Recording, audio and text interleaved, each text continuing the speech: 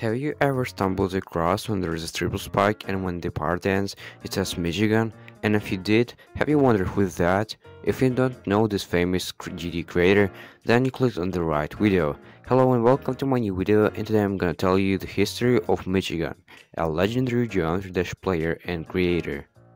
Disclaimer, this video is for new players in the community who don't know Michigun. No hate in the comments please. On the 5th of July in 2014, Michigun started his career as a creator by uploading his first video of his first ever level called Michigun Adventures.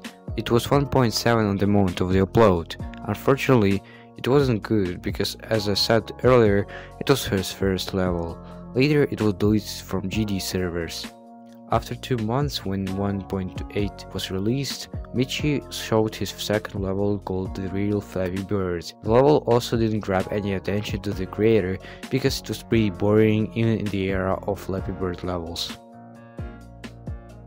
After that, Michigun started a legendary series of temple levels with the Legend of Zelda theme. The first level of the series was Water Temple, which was noticed by RobTop and was featured.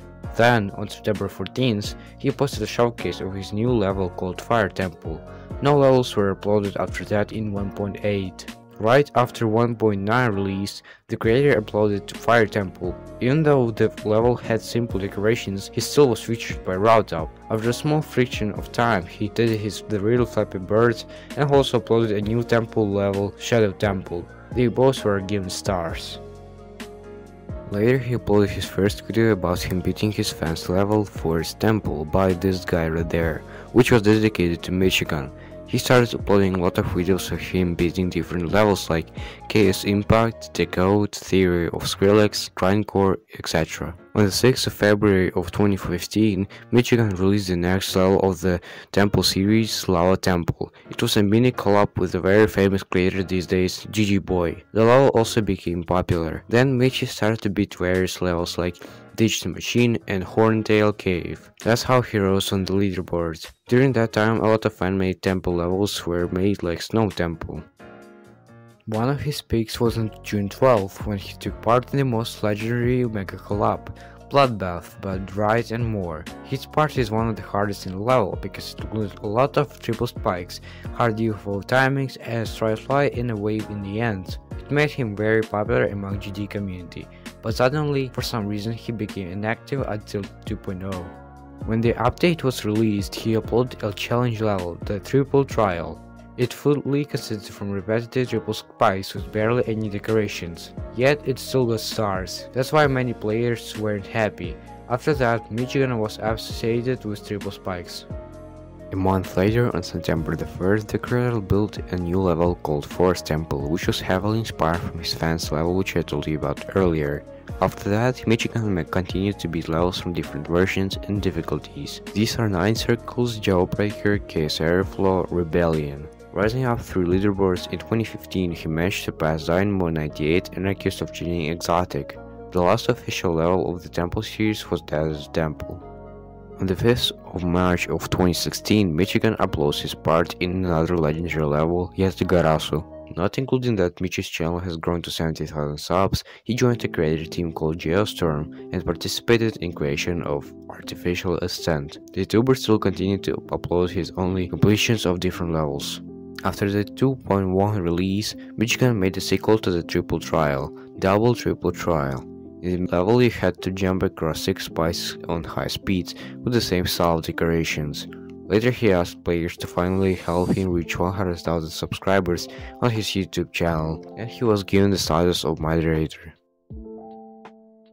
On April 11th, he thanked everyone who supported him and also he made a face reveal. The Demon Slayer started to be less active and in the end of April 2017, Shaggy23 passed him on the leaderboards.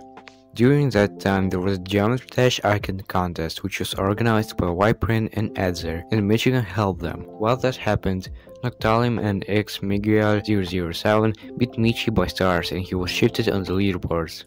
Then Michi said that he'll no longer collect stars, and also he stopped uploading videos on his channel.